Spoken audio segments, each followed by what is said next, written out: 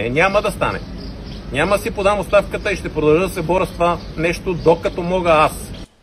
Служебно правителство абсурд. Тогава ще се подмени протеста с нашия протест. Защото на този президент не зрял или как го нарекаха фигурант, на който Шиши му реди кабинета.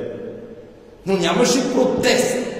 Христо Иванов не излезе да каже, ма кой Шиши и как нареди на Радев служебното правителство, а излезе и сочи моите министри, които са постигнали безкрайно добри резултати. Защо нема протест? Как Шиши нареди и зависимостта на Радев от Пеевски, който му редил кабинета. Нямаше въпрос към него от Христо Иванов. Чух. Не чух, поне аз. Това не ви ли, не си ли зададохте този въпрос? Коалицията запазва своята стабилност и в този състав ще продължи управлението на държавата до завършването на мандата, до пролетта следващата година. Вода няма да мине, но промени ще има. Ще обмислим, ще направим огромен ремонт на. Аз не смятам да си подавам оставката.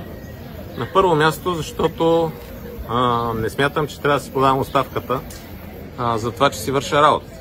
Не смятам, че трябва да си подавам оставката за това, че съм свършил ето това всичкото, което ви описах. Под мое ръководство го е свършила прокуратурата. Не смятам, че трябва да си подавам оставката за това, че към момента може би има над 20% спад на битовата престъпност, която смятахме да отчетем на едно национално съвещание следващата седмица. Не смятам да си подавам оставката за това, че аз с прокуратурата основно, с помощта на нашите партньори от МВР, а, решихме приемливи граници към този момент проблема с телефонните измами. Не смятам да си подавам оставката за това, че за България няма недосегаеми вече. И че тези, които бяха недосегаеми, които купуват политици, включително и журналисти, така наречени. Прочетете пак това, което пусна прокуратурата. Чуйте го. Които си плащат на кой или не, за да могат българските граждани да са бедни, да живеят в нищета и да бъдат ограбвани и убивани. Идват много тежки времена и това е единственото, което обясних на колегите. Че сега едни хора са недоволни от едно, други от друго, но като гледам лицата на протеста, познавам ги всичките, не си представям и държавата да се управлява такива хора.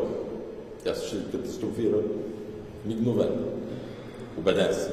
Защото те се управляват. Ние сме ги видели какво. Ноември, декември, януари, февруари ще бъде и тежка економическа и социална криза. И не е по силите на една партия или една коалиция да преведе държавата през този през това бурно море, да е малко да има по-художествено така изявление. Ние им повдигаме обвинения, преследваме ги наказателно и те организират нещо частично. Сега, а, ясно е, че много граждани са недоволни имат право да бъдат недоволни. Но е ясно, че една малка, не малка част от тях са организирани. България е правова държава и ние се движим по правила. Депозирани са при мен оставките на министри. Сега и те бяха горе. Изслушахме ги много внимателно. Действително имат голяма подкрепа и всеки един от тях е свършил значими за държавата неща. С много добре подбрана тактика в обществото се привързват към Делян Певски и ДПС. С, разбира се, много любезното съдействие на хора от така наречената градска десница.